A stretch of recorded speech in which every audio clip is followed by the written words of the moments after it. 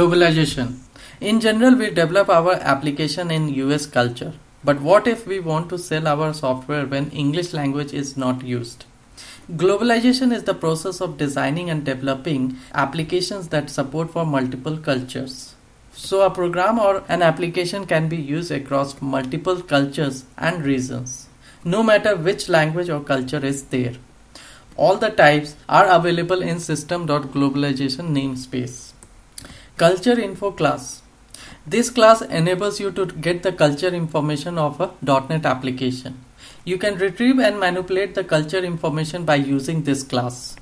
This class mainly provides the information such as format of numbers and dates, casing conventions, cultures writing system, cultures calendar, cultures language.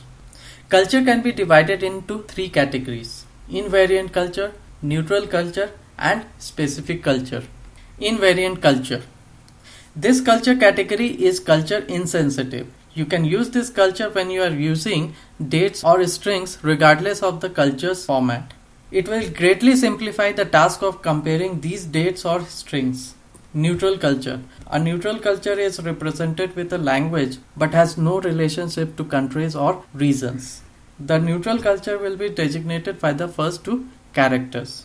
Specific culture. It is represented by a neutral culture, a hyphen, and then a specific culture abbreviation.